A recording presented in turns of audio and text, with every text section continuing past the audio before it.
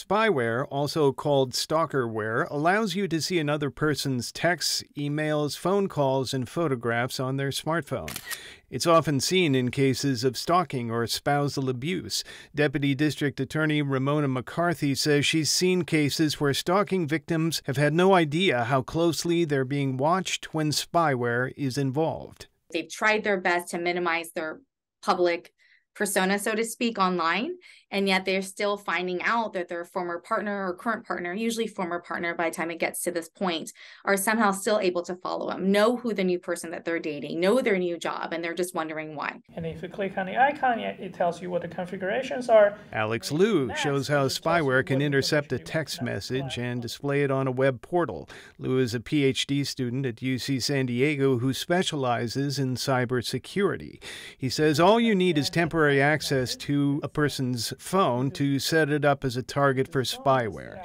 Liu's research revealed how spyware apps work and their level of security, which is not very high. Oh, there you are. He says many of them use unencrypted communication channels that are easily hacked over Wi Fi. If the, the app itself is hacked, the problem becomes much bigger because now your data can be exposed to the public.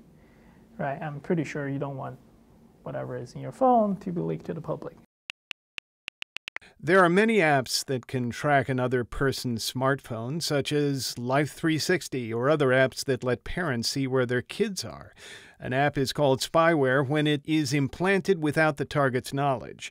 Though the apps are often used for stalking, Liu says that's not how companies market the apps, as they suggest it has the consent of both parties. So usually they would say, okay, you need the other party's consent, right? You have to click a button that says, yes, I understand that. I by using this app, I would acquire consent from the other party. But in reality, this is not enforced. Computer science professor Thomas Ristenpart at Cornell University took part in Liu's study. He said on a recent visit to UC San Diego that he contacted customer service for some of these app companies and asked if their product would be good for tracking a spouse. He heard back from nine of them. One, uh uh, tool, to their credit, said, no, you know, that's not what this tool is for. It's for, you know, childhood, child safety, and that's probably illegal what you're suggesting, so don't do that. The other eight uh, of the nine that responded responded with something uh, along lines of, yeah, our tool is awesome for that. Here's how you set it up to use it for uh, tracking your husband. Liu says the apps are easiest to install on Android phones, where there are fewer limits on where you can get your apps. Thomas Fudge, KPBS News.